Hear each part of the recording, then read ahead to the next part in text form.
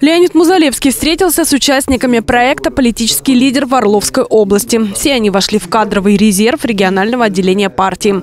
Напомним, «Политический лидер» – это кадровый проект высшей партийной школы «Единой России».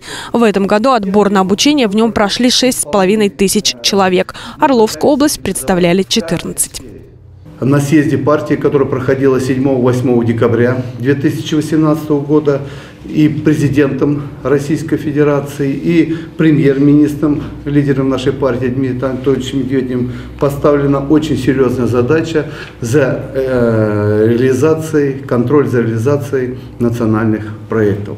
Вы знаете, что э, в Российской Федерации сегодня э, будут реализовываться и начали уже реализовываться 12 национальных проектов.